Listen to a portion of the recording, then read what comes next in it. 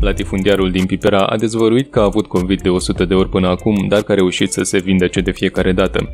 Cel mai bun tratament anti-COVID al patronului FCSB este gargara cu țuică și apă.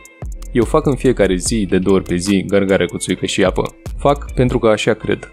Eu cred că am avut COVID de 50 de ori, de 100 de ori. Îl simt în nas, încât fac puțină gargară și aia e. Eu simt imediat. Îi zic și nevestei, azi m-a atacat COVID-ul. La mine, în loc să scadă anticorpii, creșteau. Nu înseamnă că l-am avut, dar mie nu mi-e frică de el, a spus Gigi Becali. Becali este supărat că autoritățile române nu acceptă ca omul de afaceri să aducă în țară tratament anticovid. Latifundiarul a făcut o serie de dezvăluiri despre medicamentele la care are acces și nu pot fi distribuite către populație. Dacă s-a demonstrat că e mai eficient, de ce să nu facem în farmacii? Eu pot aduce 10.000 de pastile pe oră, dau la toată România gratis. Pot să produc și arbidol și invermectină, am aprobare, dar pot doar pentru pacienții mei. Dar să-mi dea aprobare să fac pentru toată România. Eu l-am și sunat pe Voiculescu și i-am zis că îl scap de pandemie. A zis că da, apoi nu a mai răspuns la telefon.